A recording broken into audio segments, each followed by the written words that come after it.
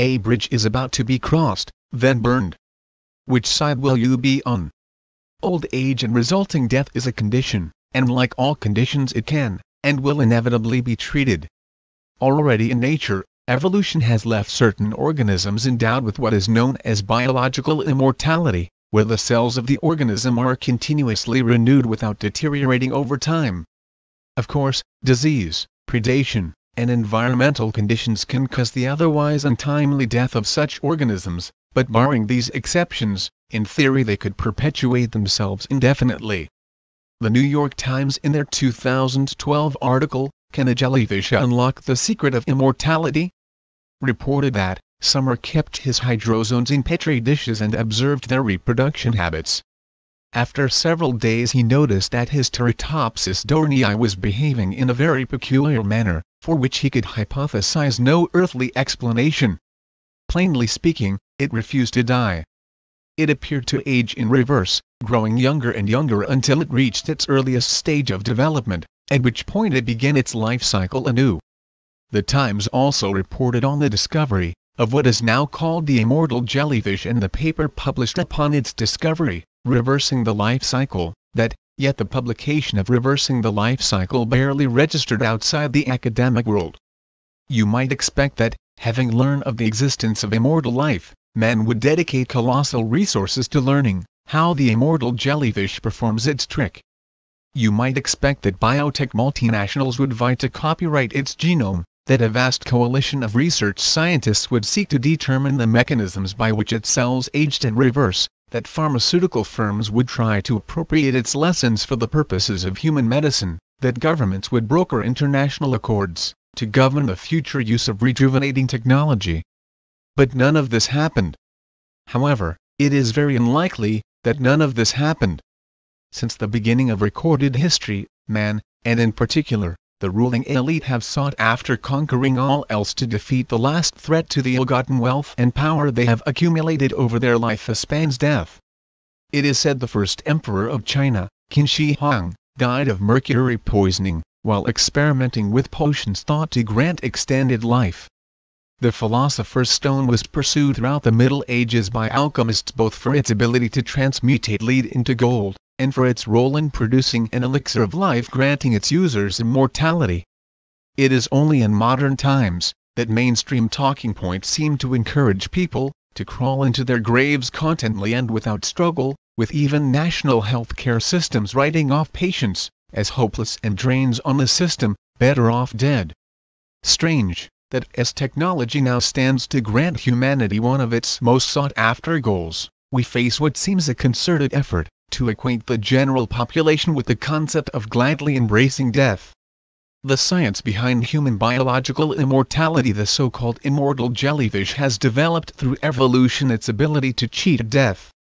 But what progress has science made in translating such a feat into success for species? that have evolved without the means of defeating age-related deterioration.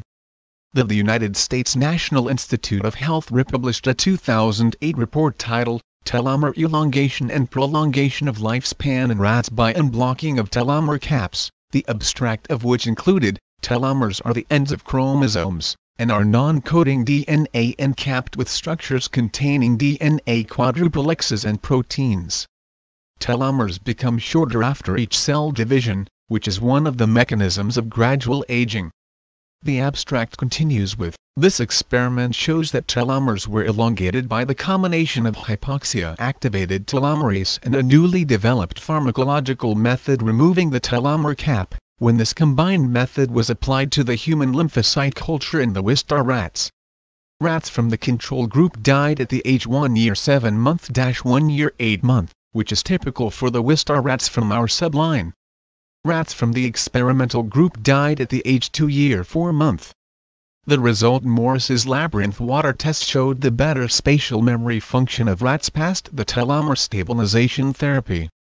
The results of these experiments show the significant role of telomere stabilization therapy in prolongation of lifespan. In short, the DNA of each cell of most species have caps at the end, to protect the DNA during cell division.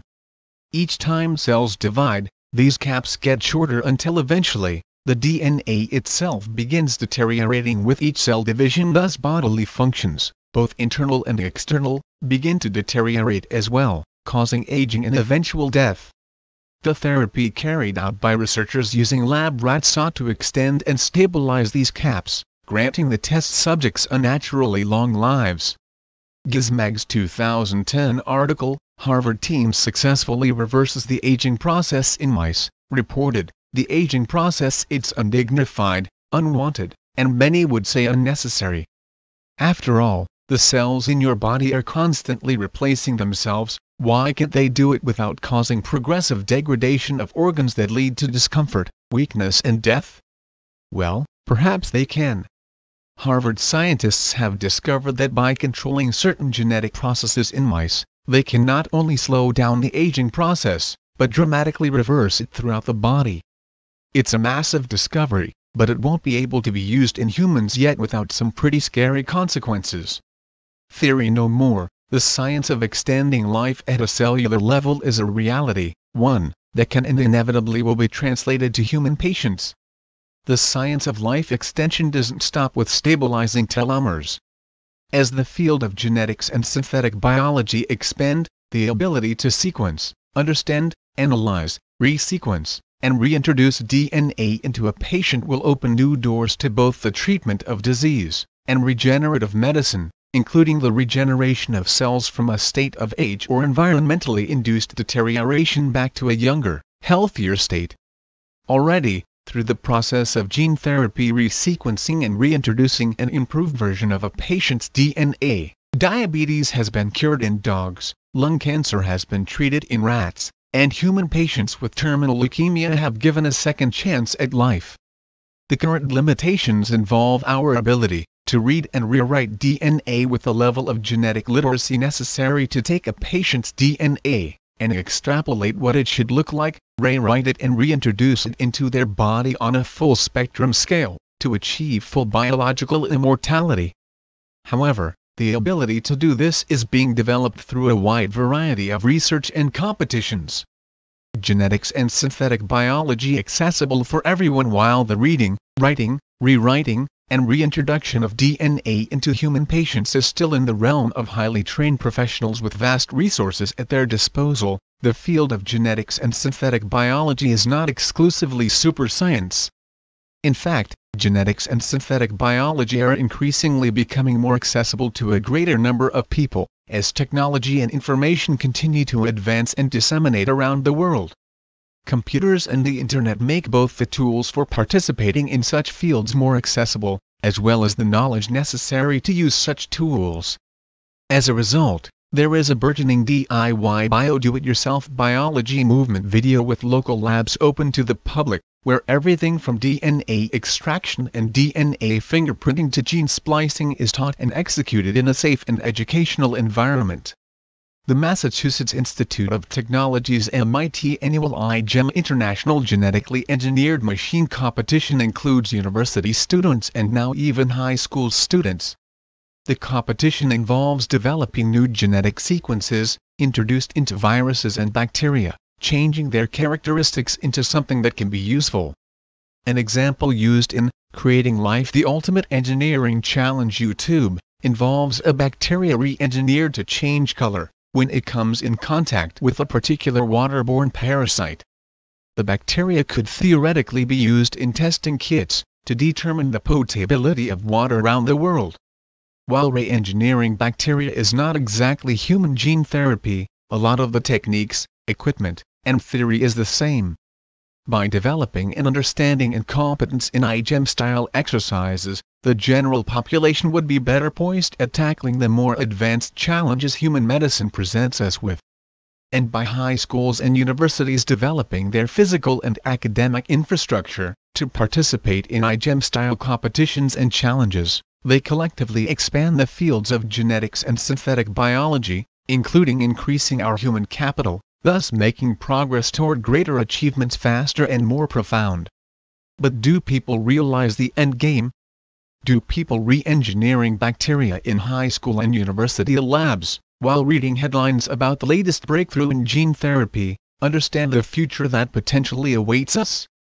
DARPA, the Malthusian paradigm, and burning bridges the Pentagon's Defense Advanced Research Projects Agency, or DARPA, as it is more widely known, is actively involved in genetics and synthetic biology research.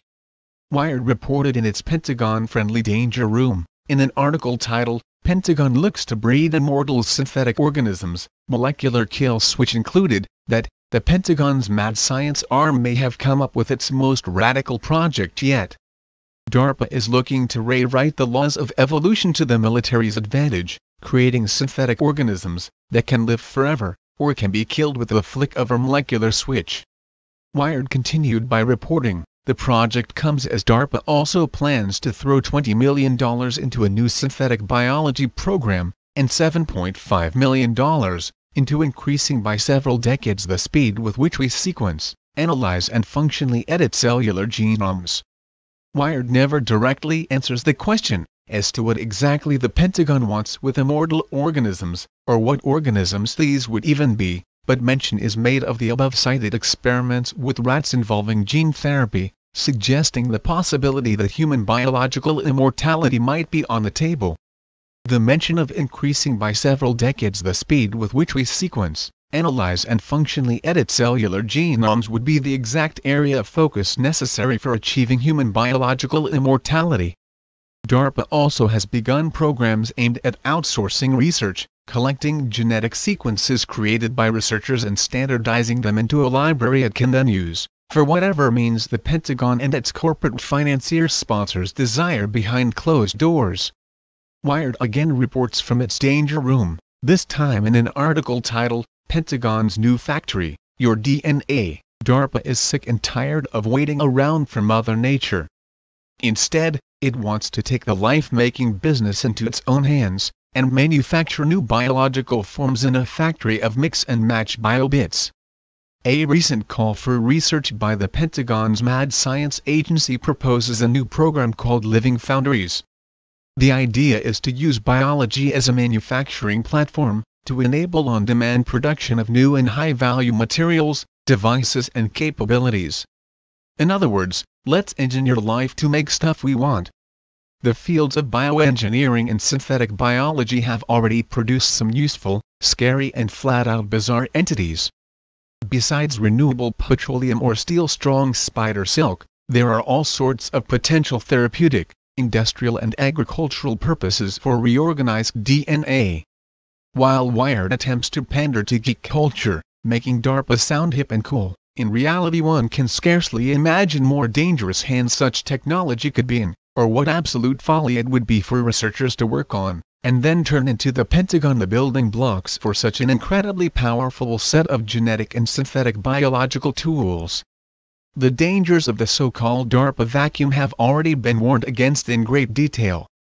It is clear that DARPA, the Pentagon, and the corporate financier interests that direct both, are incredibly interested in harnessing the power of synthetic biology. Like the internet, these interests can be kept in check, if the population is educated and technically competent enough, to ensure no one power gains an overwhelming monopoly over such technology. Already, with the advent of DIY bio and the increasing popularity of Amy's iGEM competition, it appears that the opportunity for monopolizing the field of genetics and synthetic biology is already slipping away. But what if the population was convinced to pursue a philosophy that blinded people to the potential advances we stand to achieve? What if people could be convinced to just crawl into their graves willingly, after learning to enjoy a life of increasingly limited resources and liberties? That is just what the Malthusian paradigm aims, at achieving in the minds of billions around the planet a paradigm that literally seeks to burn the bridges behind the global elite, as they achieve biological immortality and resource abundance, while denying it to a condemned and self-euthanized humanity.